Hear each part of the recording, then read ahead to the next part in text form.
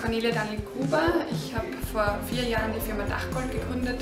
Das ist ein Solarberatungsunternehmen, das sich wirklich auf ähm, die Wirtschaftlichkeit von solaren Unternehmen spezialisiert. Das war mir sehr wichtig, weil ich finde, dass äh, Solarenergie vor allem in Unternehmen gehört, wo die Energie untertags auch gebraucht wird, wenn sie produziert wird.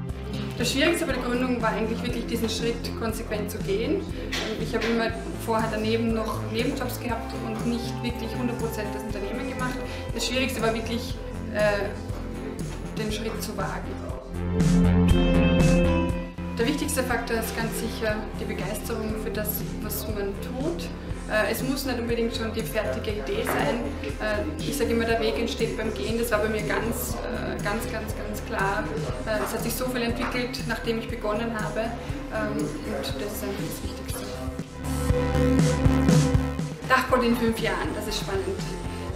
Das aktuelle Projekt 1000 ein Dach ähm, ist eigentlich so ausgelegt, dass wir in fünf bis sieben Jahren dieses Ziel erreicht haben.